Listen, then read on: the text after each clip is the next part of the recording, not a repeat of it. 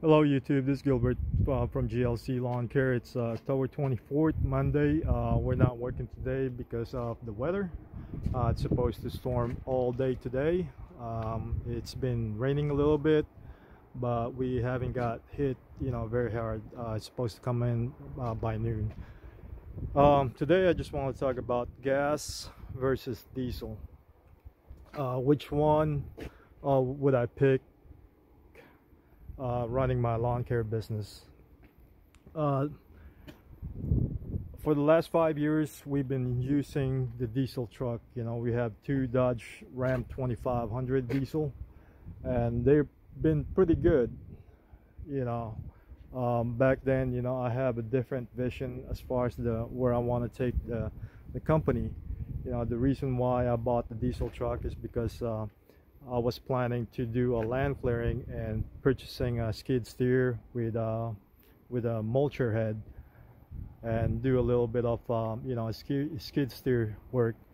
But uh, after COVID hits and all the lockdowns um, you know after the last election I decided to uh, put that on hold. Um, uh, 2020 uh, 2019 when I bought this truck um, uh, beginning of 2020 um, I was thinking about it and then uh, late 2020 I put an order for uh, for a cat 299 uh, D3 I think it's X XP for a forestry you know that's an um, ex expensive machine. It's, it costs about you know the heads the machine and a couple of uh, attachments about 200,000 um, but um, you know I canceled it and uh, I decided not to go forward with it. But uh, as far as the diesel truck they're they're good truck. Um, the only complaint I have is the uh, first the price of the truck. It's about you know uh, twelve thousand fifteen thousand dollars more than a gas truck. And second is the maintenance um, the maintenance on the truck um, you know other than the regular oil change every 10,000 miles uh, you have to replace the, the, the, the, the fuel filter. And for the Dodge Ram it has two uh, fuel filter that you have to replace every 10,000 miles and that costs about $380 to um, every uh, every 10,000 miles. So pretty much every oil change. Um, the second one is the the diesel price. You know it's keep going up it went down a little bit but now it's back to uh, here in Texas about 470 average of 470 a gallon uh, versus to a gas um, which is about a dollar less than diesel. Um, diesel truck eh, they're they're pretty good. Um, you can really uh, pull heavy stuff uh, with no problem. You know we have a 14,000 K um, dump trailer that we you know sometimes we, we overload it with uh, rocks and and other landscaping materials. And uh, with a diesel truck there's no problem of uh, you know pulling that trailer.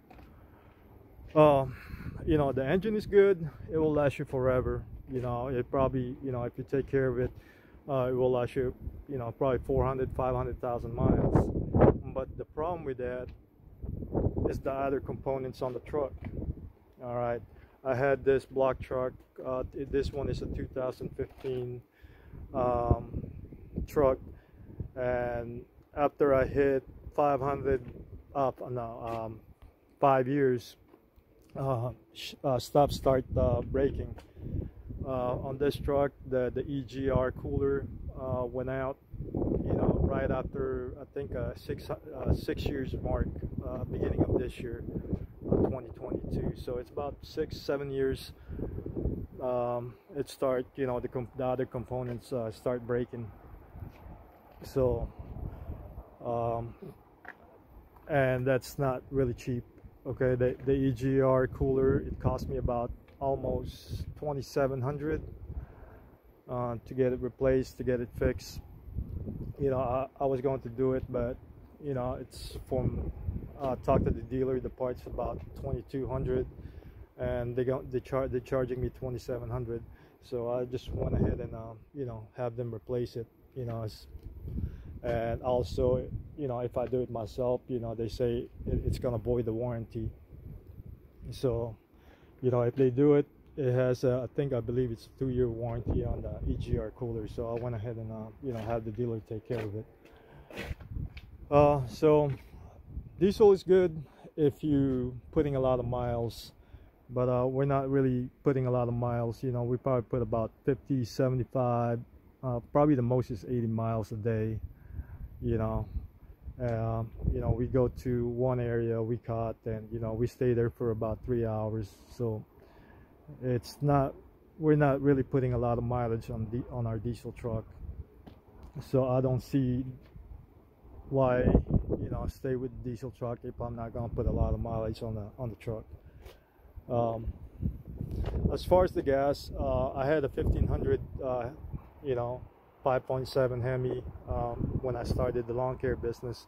You know it was a good truck but uh, I, I, I don't think it's you know it's it's had the towing capability as a 2500 that's the other thing that I want to talk about you know if you're gonna start in the lawn care business it's better to uh, start with a three quarter than half a ton or you know probably three quarters and bigger 2500 and above.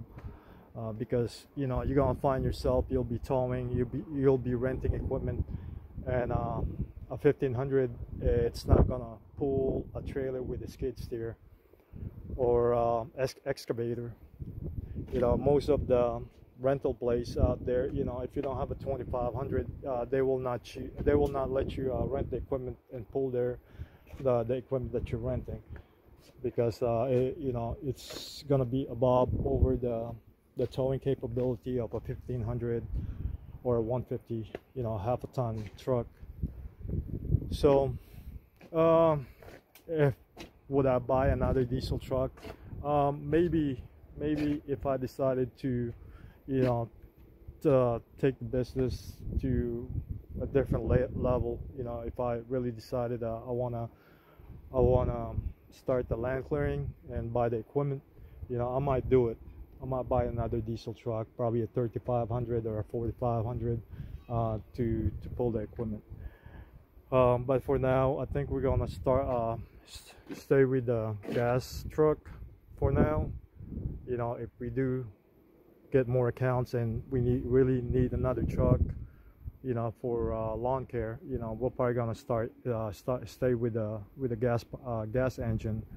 Uh, but it's gonna be a 2500 at least um, you know, because I think um, a gas powered, the 6.2 uh, uh, gas powered, a 6.2 engine like the 2500 that we have is, uh, you know, it's have enough power to, to pull, you know, uh, a, a, bigger trailer, a bigger load. So that's all I got for now. Um, you know, um, until next time again, uh, it's Monday and we're not working today. So hopefully the weather gets better tomorrow and we'll be back out there um, taking care of our uh, accounts so till next time again youtube. Bye